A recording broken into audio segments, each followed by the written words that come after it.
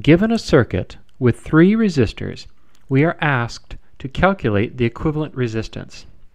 The textbook would tell us that the equivalent resistance is equal to 1 over 1 over R1 plus 1 over R2 plus 1 over R3. In this video, we'll explore where this equation came from. And we'll do so by looking at the current in the circuit.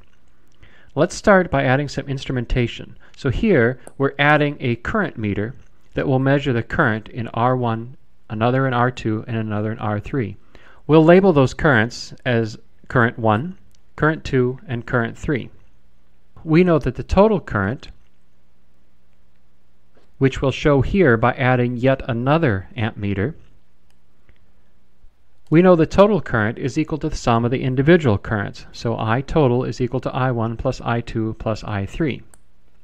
Let's not forget that the total current, as shown in the circuit on the right, is the same as that from the original circuit.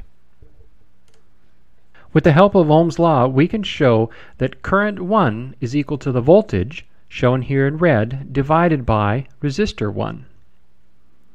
Likewise, we can show that I2 is equal to the voltage divided by R2, and resistance 3 is the voltage divided by R3.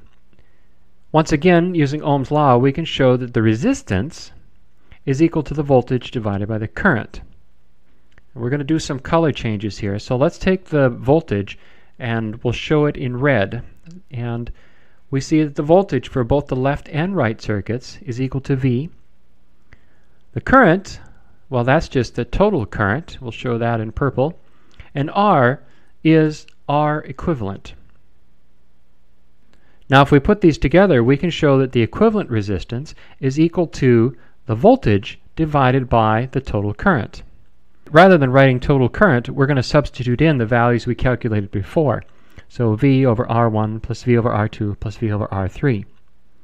We can now simplify this by multiplying both the numerator and denominator by 1 over V, which gives us 1 over 1 over R1 plus 1 over R2 plus 1 over R3, which is our original equation.